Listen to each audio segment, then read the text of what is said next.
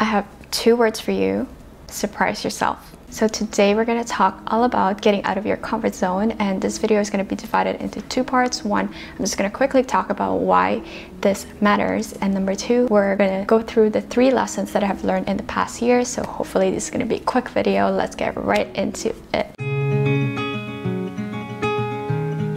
So five days ago, I did something really out of my comfort zone. I signed up to become an agency nurse as an emergency nurse in the GTA or the Greater Toronto area in Canada. And just for background, I had left the emergency department busy hospital scene about a year ago and I haven't been there since. If you have been kind of following my channel, you know how I have been ha having this dilemma about my nursing career. So I've just been trying out different things. I've been doing travel nursing, doing uh, dental nursing, and now I'm doing agency nursing in the emergency department. And that experience really showed me that when you get out of your comfort zone, you really can surprise yourself. And that really leads into a ripple effect of improving your life for the better, not only in your personal self, but also in other areas of your life, in your health, in your finance, and relationships, and all that important things when it comes to improving your life.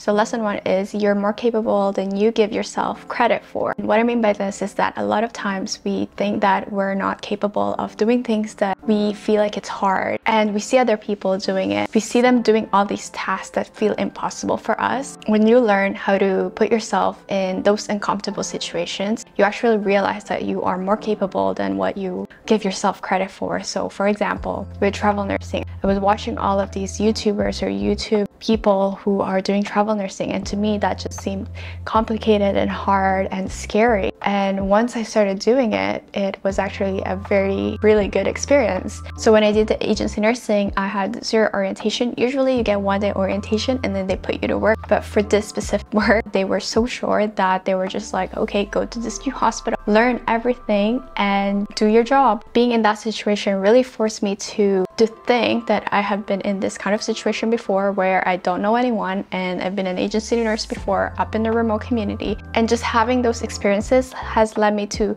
have that confidence to actually face this situation with grace not with terrifying stress overwhelm. Obviously it was overwhelming because I was getting new information at the speed of light while taking care of these random patients that was put in my hand. So really that's the first lesson. Lesson number two is that when you surprise yourself by taking action action, that action leads to clarity. So a lot of times we are paralyzed by the things that we think, whether you should do choice one, choice two, or sometimes we don't make any choice because we are paralyzed or we're scared of making the wrong decision. I have done this a lot of times where I was like, I don't know whether I want to do freelance writing full-time or I want to do travel nursing full-time. I was just confused. And so what I did is that I left my cushy job and I tried both. I did freelance writing, did not work out for me full-time, and I did travel nursing and ended up loving it. Okay, I said, great, now I have this feedback of that. This is a situation that I like and that I want to do it again. When you take action, that actually leads to clarity. So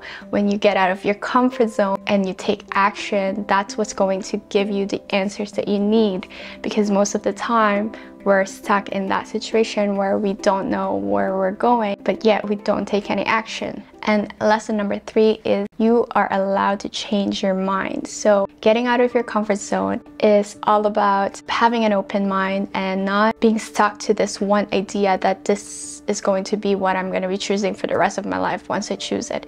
I think this happens because we're kind of conditioned this way where since the beginning of childhood we are asked what do you want to be when you grow up as if you can only have one thing that you can be when you grow up. It's the same thing when it comes to being in high school and the society kind of conditioning us to take all these courses or sub or school material subjects that once you take this, you are not allowed to do anything else. So for example, when I was in high school, I actually did not take any science courses. I took business and law and sociology courses because I wanted to do something with business and I wanted to do something with technology. So I had avoided science courses.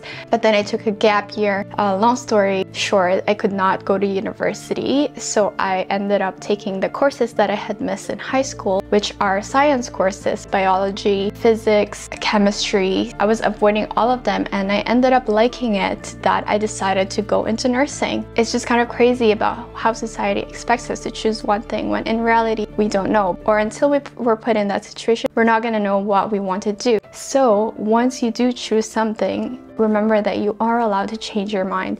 For me, that happens all the time. I was in nursing, changed my mind about nursing, and then changed my mind again about nursing.